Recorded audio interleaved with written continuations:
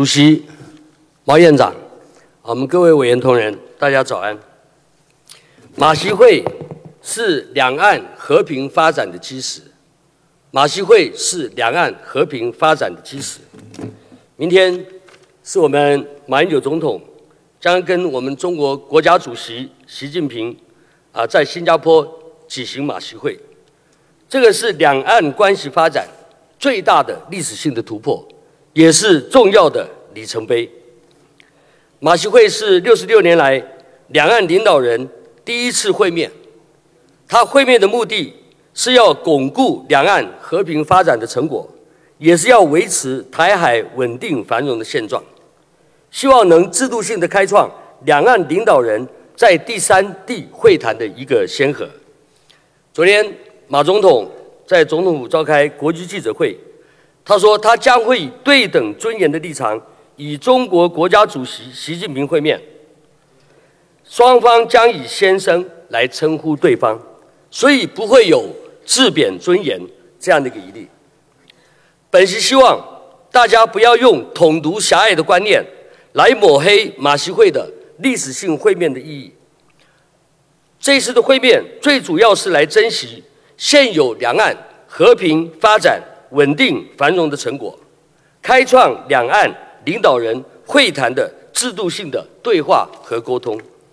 那这次马习会将来会谈到啊，我们双方领导人会面的一个制度，也会谈到两岸如何维持和平，还有经济发展以及国际空间。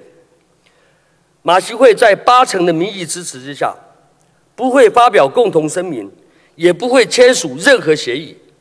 所以马习会没有伤害台湾的民主，也没有试图影响台湾的选举，也没有出卖台湾。马总统说，马习会之后，他可以到立法院来做国情咨文报告。他是现任的总统，他有权利这样做，而不是像反对党所说的，民意破底的总统还要开马习会，还要辱骂，还要贬低。马英九这一次历史性的前瞻性的远见和格局，本席向来主张马习会啊能够早点制度性的建立。那马习会将来也会为马总统留下一个历史性的一个定位。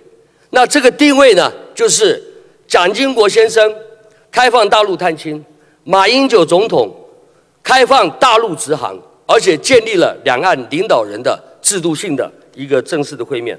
所以，本席支持马习会，希望马总统一路顺风，也希望马习会成果丰硕。请邱委员文燕发言。